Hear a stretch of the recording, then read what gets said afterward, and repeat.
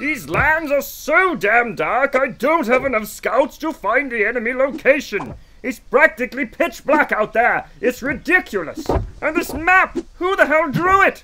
They just drew blackness where we haven't been. It's ridiculous.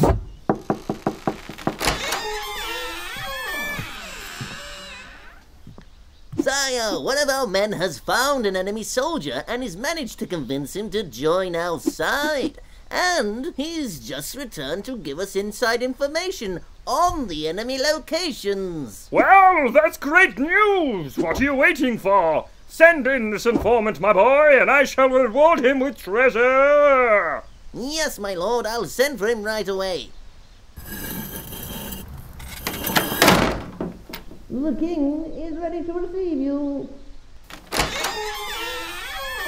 I certainly hope you have good news to relay to me. So, you got the intel or what? oh,